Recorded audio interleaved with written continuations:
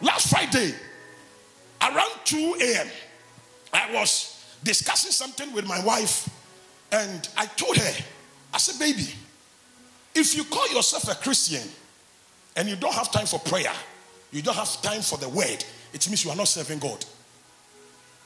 A lot of people go to church, but they are not serving God. I am telling you, a lot of people go to church, they give, they do so many things, they are not serving God. If you take the word and prayer from your Christian journey, I am telling you, backslide.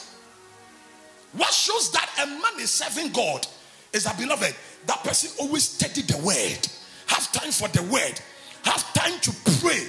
And listen to me, when you study the Bible in the book of Luke, chapter 2, Luke chapter 2, I think verse 36 to 37, the Bible said there was a prophetess called Anna. Luke chapter 2, verse 30 says, And there was one Anna, a prophetess, the daughter of Phanuel of the tribe of Asher. She was of a great age and had lived with an hundred seven years from her virginity. Verse 37. I love the 37. He said, and she was a widow of about four score and four years, which departed not from the temple, but served. Don't forget that word, but served God with fastings and prayers night and day. So if you are not in prayers, if you are not praying, you are not serving God. You are not serving God. If you are a prayerless person, beloved, you are not serving God. Because listen to me, Christianity is all about the word and prayer. Christianity is all about talking to your maker.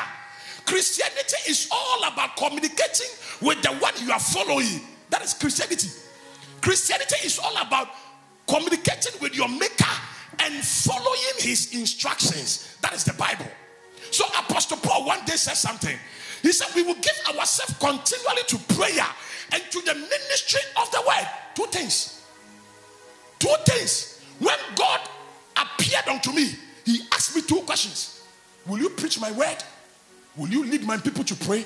And, and, and two things, two powerful keys. And Apostle Paul said, He said, We will give ourselves continually to prayer and to the ministry of the word. So if you don't have time for these two things, you are not serving God.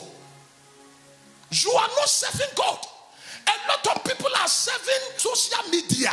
Listen to me. Anything that takes your attention from God, that thing is your God. Should I say it again? Anything that takes what? Your attention from God, that thing is your God. So if you always spend time on social media, social media is your God. Some people can hold their phones, beloved, for five hours. Five hours. Your phone is your God. Your phone is your God. Your phone. If you don't have time to pray, if you don't have time to study the word, beloved, you are not serving God.